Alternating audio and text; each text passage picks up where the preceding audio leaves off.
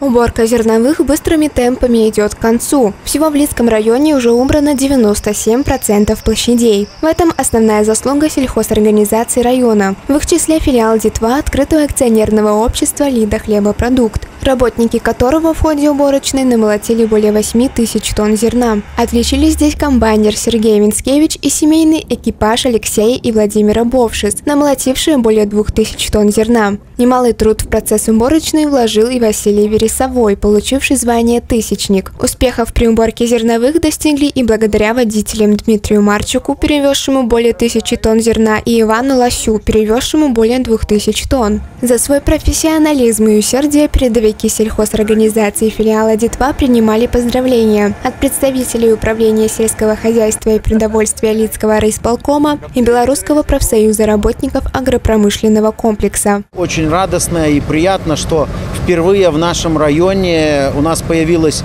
э, два экипажа, которые намолотили по 2000 тонн зерна. За время моей работы, за более чем чуть больше пяти лет.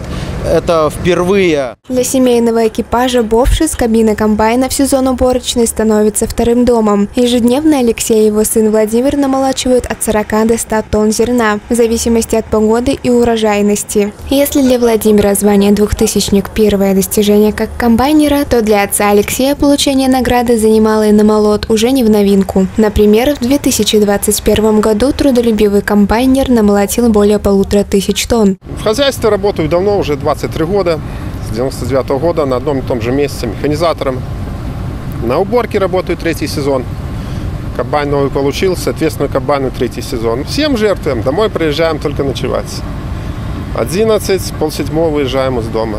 Было дело, что если где что-нибудь случится поломка, мы даже в 5 утра были на мег-дворе, ремонтировали комбайн.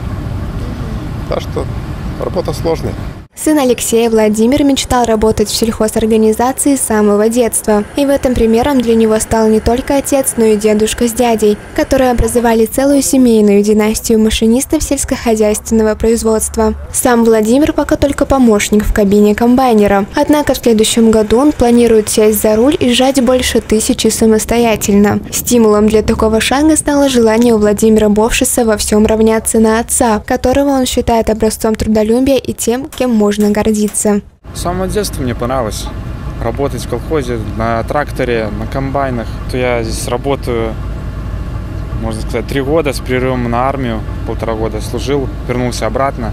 Ну, изначально работал здесь, вернулся сюда на трактор, второй сезон уже на комбайне помощником.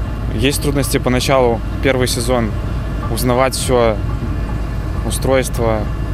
Мне отец все рассказывал, показывал, что как надо. На второй сезон уже полегче. И сам уже мог управлять комбайном, жать самостоятельно. Я испытываю чувство гордости, то, что работаю в колхозе помощником комбайнера со своим отцом, то, что достигли таких результатов, тысяча, две тысячи. Конечно, горжусь этим очень сильно. Сергей Винскевич, как и Владимир Бовшис в филиале Детва открытого акционерного общества в Лида Хлебопродукт совсем недавно. Только вот в профессия комбайнера для него уже стала призванием. И справляется с поставленной задачей комбайнер сам без помощника. Для получения высоких результатов на уборочной у него свой стимул. Стремление, наверное, урожай убрать хорошо. Как-то уже с годами выработано это уже как-то. Просто интерес вот, убирать хлеб. В 2021 году строился, вот уже год как проработал почти. Из семьи такой, что у меня отец работал когда-то механизатором, приучил к этой технике. Так и дальше все пошло. Работаю. Устаешь сильно. И, ну, тяжелая просто работа. И объяснить так очень тяжело. То это просто надо побыть в этом, когда узнать.